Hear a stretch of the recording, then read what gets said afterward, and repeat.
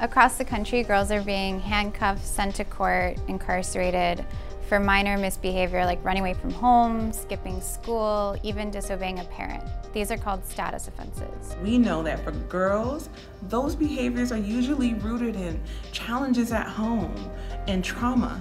And what girls need at the end of the day is someone that will listen to them without judgment, believe them, and respond with resources that are supportive and not punitive in nature. The Vera Institute of Justice is working to end girls' incarceration. That means we can't continue to rely on courts and law enforcement to address behavior that should be addressed at home, at school, or in the community.